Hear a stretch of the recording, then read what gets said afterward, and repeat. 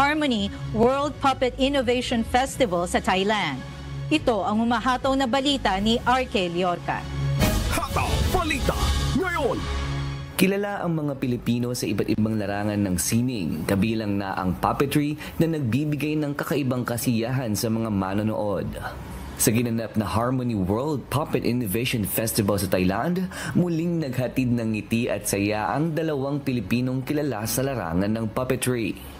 Tampok ang nakakaaliw na puppet performances ni na Juan Lu at Ernie Sarangaya sa limang araw na pagtatanghal na ginanap sa National Science Museum, Patumtani, Thailand noong November 13 to 17, 2024. Higit pa sa kasiyahan, nagbigay rin ng iba yung inspirasyon ang ating professional puppet artists. Yes. Using puppetry to lift up people, di ba? Not to lift yourselves. I'm done with that. Tapos na na ako na dun eh. Na, na, na, na, na to lift up others. Di pang ganun. Kaya sabi ko, yun ang isang advocacy ko.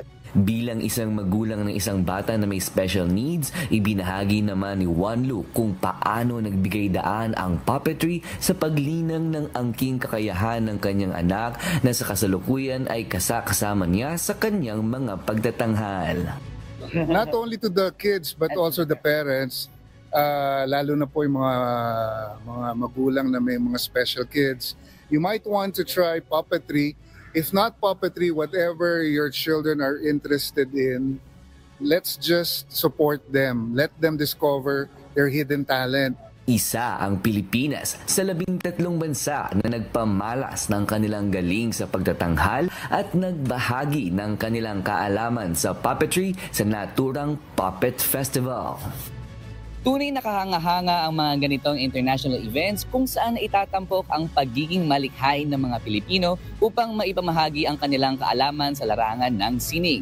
Ngunit higit na kahanga-hanga ang kanilang dedikasyon upang makapagbigay hindi lamang ng kaaliwan kundi ng ibayong inspirasyon sa kapwa sa pamamagitan ng kanilang angking galing sa puppetry.